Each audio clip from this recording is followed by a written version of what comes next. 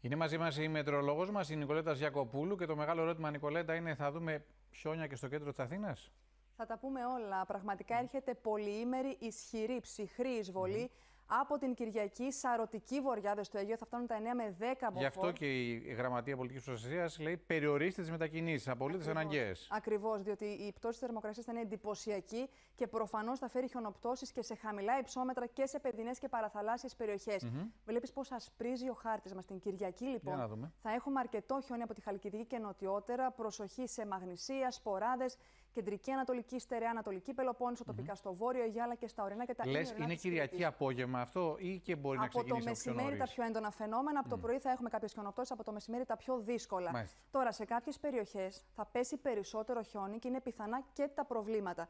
Ποιες είναι οι περιοχές αυτές, έχει ιδιαίτερη αξία να τις δούμε. Προσοχή λοιπόν στην Εύβοια. Mm Εκεί τα στοιχεία δείχνουν ακόμα και ένα μέτρο χιόνι σε ορεινές περιοχές και στην κεντρική Εύβοια.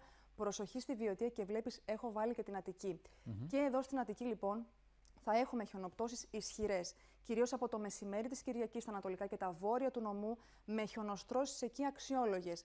Μέσα στην ημέρα θα χιονίσει πρόσκαιρα και στο κέντρο της πόλης. Η χιονόστρωση από το κέντρο και νοτιότερα θα είναι λίγο πιο δύσκολη. Όμως στον υπόλοιπο νομό θα έχουμε και αξιόλογες χιονοστρώσεις. Το ξαναλέω, έχει ιδιαίτερη αξία. Αυτά για Κυριακή μεσημέρι, λες, Νικολέτα, και μετά. Μεσημέρι και μετά. μετά. Δεν ξεμπερδεύουμε στην Αττική την Κυριακή.